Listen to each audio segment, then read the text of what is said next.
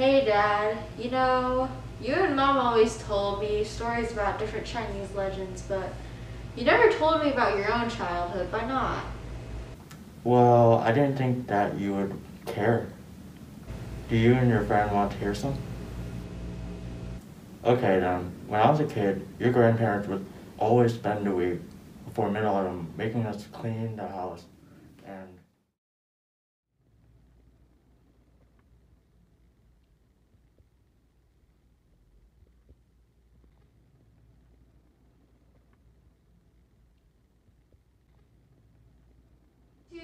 You, Dad, don't work too hard.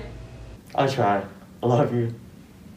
Aw, that was so sweet. It was so amazing that you get to bond with your father over the Mid-Autumn Festival, even though he's not home. Huh, you're right. I've never seen Dad be that open before. It was really nice.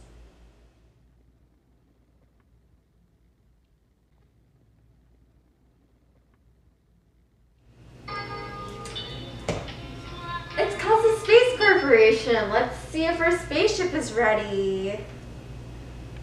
Hi, Miss Liu. This is Casa Space. We're calling to inform you that your spaceship is done, and please be ready to board the spaceship soon.